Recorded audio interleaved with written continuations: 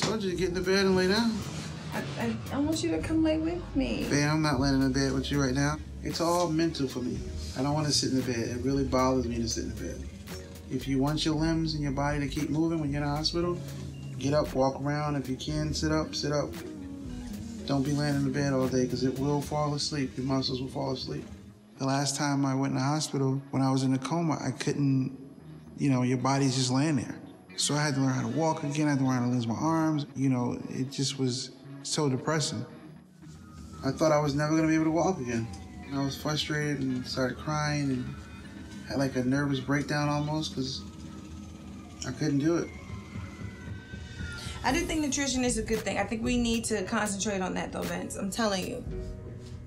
Yeah. Yeah. Now I'm good. I'm gonna go to the gym though. I'm gonna really ask the doctor. Can I really start working out now? You're not going to be able to work out like you think you are. That's why I said it starts off with nutrition. Why nutrition. not? I want to. No, I want to join a gym, babe. I know Vince cannot stand it when I mention anything about his diet. So fine, whatever. Start exercising all you want, boo. But I am not gonna hold my tongue anymore about what he eats because this right here is a life or death situation.